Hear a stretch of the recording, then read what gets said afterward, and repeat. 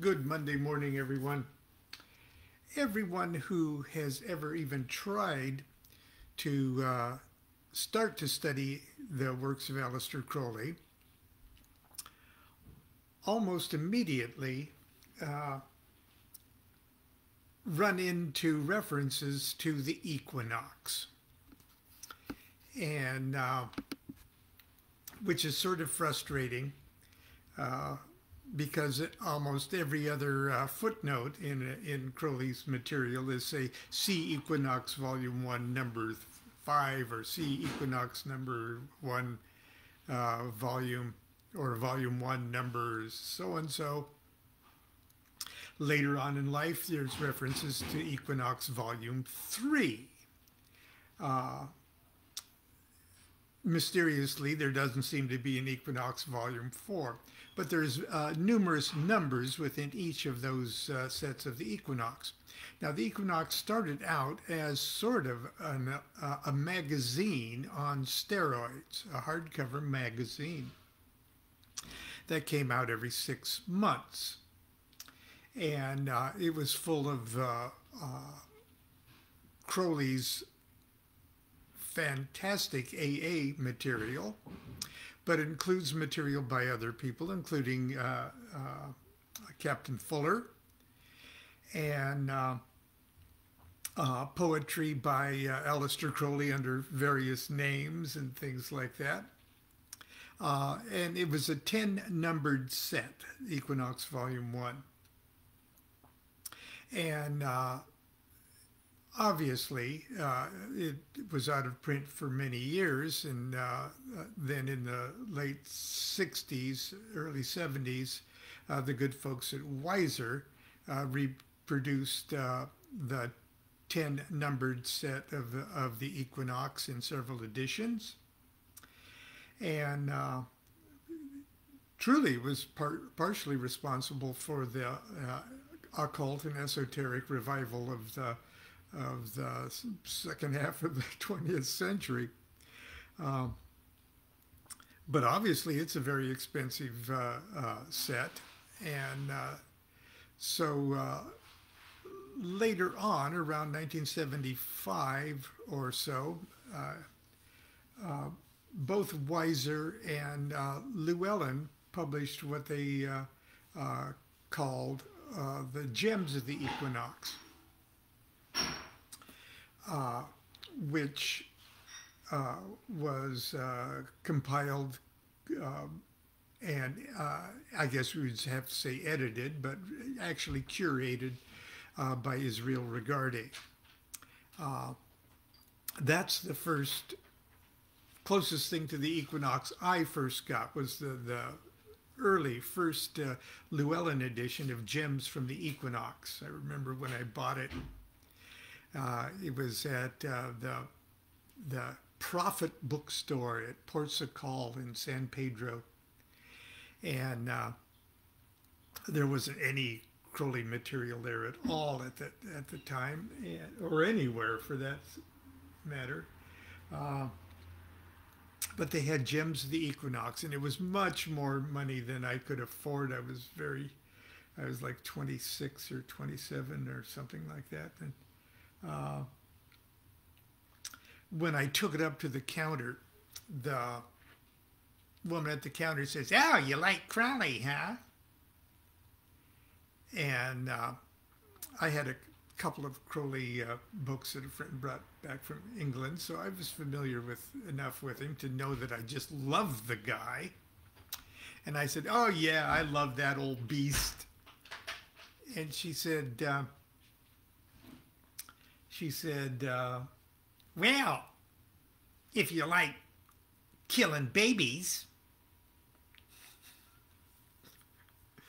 And I said, He didn't kill any babies. Yes, he did. He did on that island. And uh, so I knew she was probably thinking about the, uh, you know, Cefalù, the Abbey of Thelema, and all of the the infamous Abbey of Thelema in Cefalù, Sicily. And I said, You mean Sicily?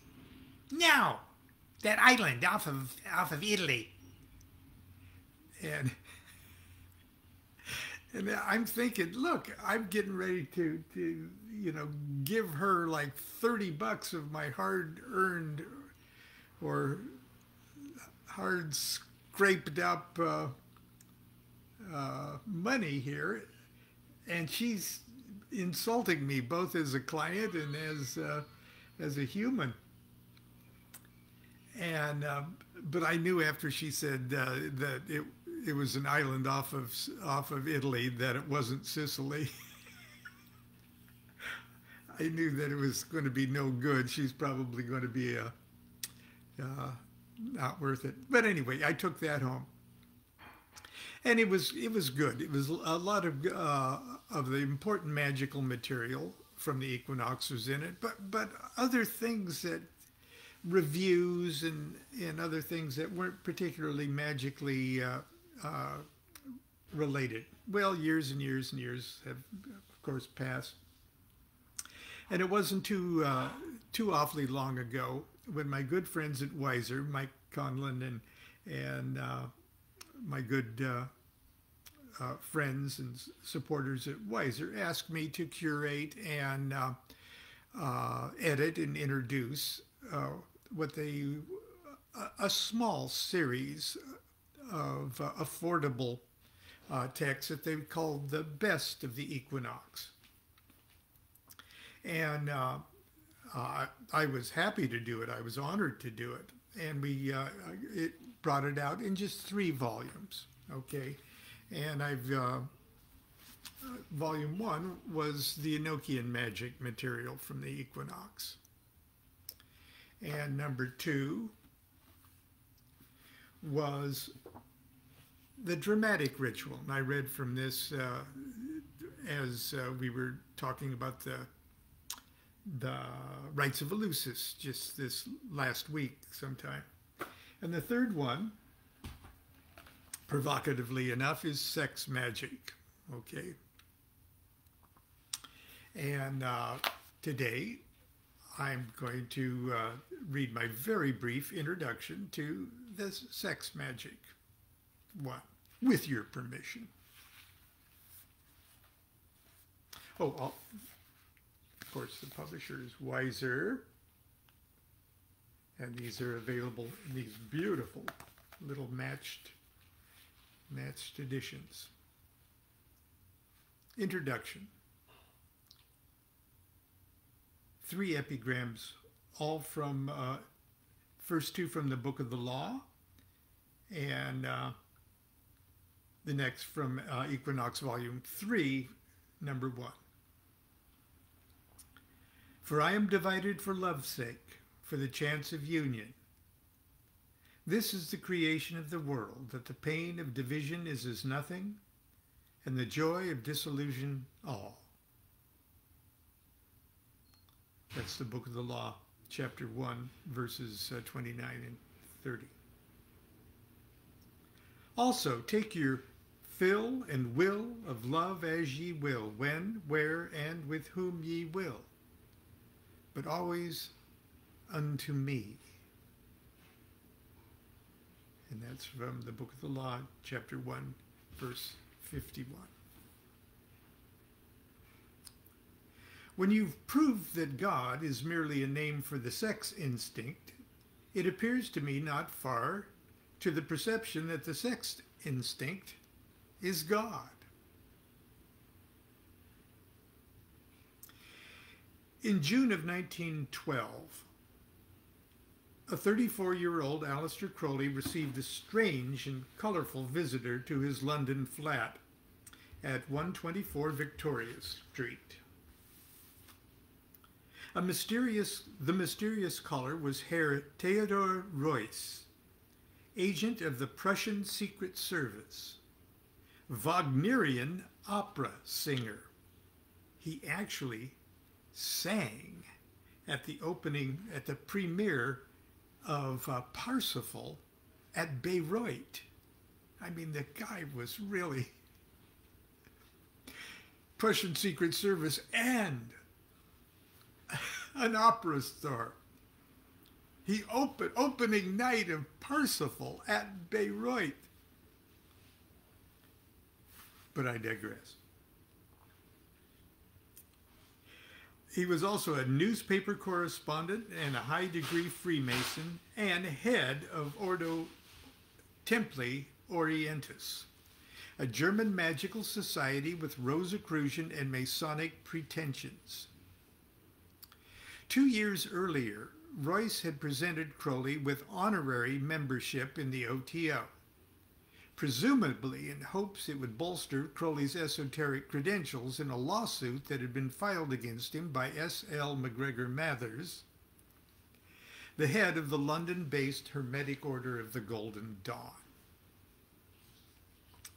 Mathers had sued to prevent Crowley from publishing proprietary initiation rituals and teachings of the Golden Dawn in his publication, The Equinox. In the suit, Mathers was claiming to be the worldwide head of the, quote, Rosicrucians, an act of spiritual presumption which outraged Reuss and the leaders of a score of other existing European Hermetic and Rosicrucian societies. In an attempt to dilute Mathers' credentials in the eyes of the court, these organizations lavished a host of honorary degrees and titles upon Crowley. So many that he completely lost track of his various memberships, degrees, and mystic titles. Crowley eventually won the suit and published the Equinox. The purpose of the June 1912 visit from Reuss, however, was not to discuss the lawsuit of the Golden Dawn matters, but to take Crowley to task for publishing the OTO's supreme secret of sexual magic. Crowley protested that he'd done no such thing, that in fact he hadn't even he didn't even know the secret and was completely unaware that the OTO had anything to do with sex magic. Reuss stepped to Crowley's own bookshelf and plucked out a copy of Liber 333, the Book of Lies, and opened it to chapter 36, the Star Sapphire, a short version of the hexagram ritual. Crowley did not immediately understand exactly how the contents of this tiny chapter could possibly reveal the supreme secret of sexual magic. So Reuss patently discussed, or excuse me, so Reuss patiently discussed what he had written vis-a-vis certain theoretical and aspects of magic. He led the discussion in such a way that Crowley experienced an almost instant epiphany. He was stunned. Since childhood, he had intuited the importance and the potential power of sex. But here, in the most profound and simple terms, was the key. Not only to the mythological symbolism of the ancients, of Christianity and Freemasonry, but theoretically at least, the key to the mysteries of human consciousness and creation itself.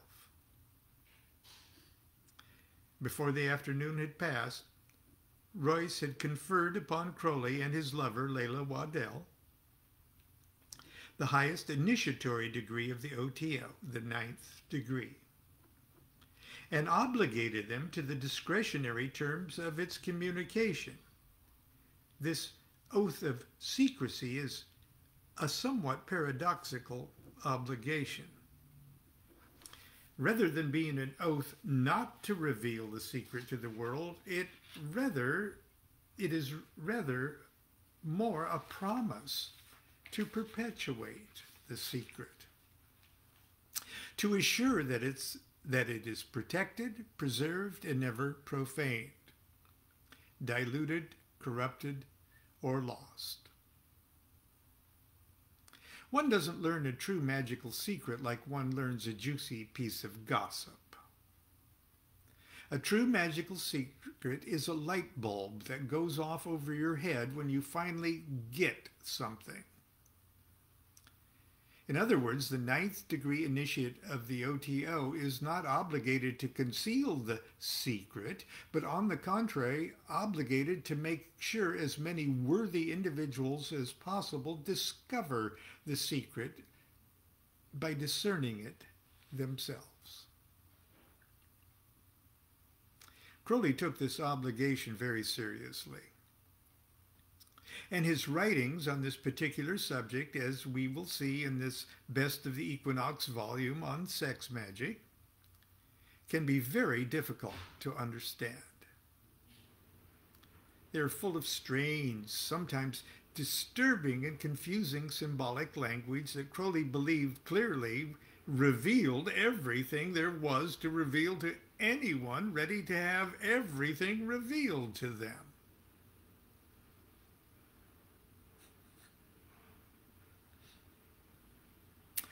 I must confess, this is not easy. But it is a magical labor well worth the effort because the reward is nothing less than the Holy Grail itself. After bestowing the ninth degree on Crowley and Leila, Reuss authorized Crowley to create and head a British chapter of OTO and directed him to expand and develop the organization's rituals of initiation to a workable and viable magical, a series of uh, workable and viable magical ceremonies. From that moment until the end of his life in 1947, sex magic would be the focus of Aleister Crowley's magical work. Unfortunately, the term sex magic has a somewhat lurid ring to it. It brings to mind visions of costumed orgies and pornographic acts of dramatic depravity. Crowley's outrageous and eccentric lifestyle and reputation did little to assuage public perceptions about the naughtiness of anything he might be involved in. It's true. He enjoyed shocking anyone who was easy to shock. To the disappointment of many would-be magicians, however, sex magic is a demanding physical and meditative yogic discipline of the highest order. The underlying theory of the technique is as challenging to the imagination as the postulates of quantum mechanics. Yet the fundamental key to sex magic is breathtakingly simple and can be summarized in the single word ecstasy the divine consciousness we all experience whenever we temporarily obliviate our sense of separateness from Godhead in timeless moments of orgasm. In that eternal instant, the self becomes the all. And when we are the all, there is nothing we cannot create. Modern students of Crowley are further challenged by the terminology he was obliged to use to camouflage a direct discussion of the subject. Such obfuscation was necessary not only because of Crowley's OTO obligations, but also because of serious concerns of legality. We must recall that it wasn't so very long ago that one could not legally publish material concerning sexual matters. Even medical journals needed to be very careful about how the subject was approached in print. Ironically, discussions of human blood sacrifice were not taboo subjects to write about. Crowley was fiendishly delighted to play this game of words with the publishing world and the public. Not to be dissuaded, he simply drew upon his mastery of language and his knowledge of the colorful metaphors of magic to be as shockingly explicit as he wanted. He sometimes unwisely assumed any moderately intelligent person would know what he was really saying. Orgasm and ecstasy he could refer to as death and sacrifice. Sexual fluids, sacred elements used as uh, Eucharistic talismans in India and the East for millennia, became blood and water or the elixir. The penis became the lance or the wand or the rood or the cross, the vagina the cup or the grail or the rose, etc. In Magic and Theory and Practice, Crowley confesses exactly what kind of game he is playing. In chapter 12 of the chapter called The Bloody Sacrifice and Matters Cognate, he writes, You are likely to get into trouble over this chapter unless you truly comprehend its meaning. He also began a footnote to the above statement by warning the reader, get this. There's a traditional saying that whenever an adept seems to have made a straightforward, comprehensible statement, then it is most certain that he means something entirely different. The truth is nevertheless clearly set forth in his words. It is his simplicity that baffles the unworthy. I've chosen the expressions in this chapter in such a way that it is likely to mislead those magicians who would allow selfish interests to cloud their intelligence, but to give useful hints to such as are bound by their proper oaths to devote themselves to the powers uh, uh, uh, devote their powers to legitimate ends. Okay. Uh, and that's where we'll we'll stop today. The introduction then goes on to talk uh, a bit more specifically about the Gnostic Mass and uh, the other uh, Crowley rituals of that have direct relationship to sex magic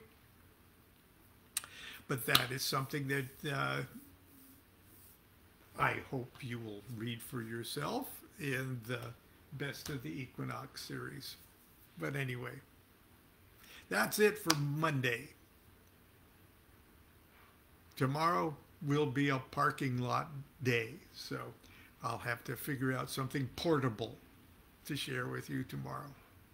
So until tomorrow, continue to be good to yourself and be good to each other. Do what thou wilt shall be the whole of the law. Love is the law, love under will.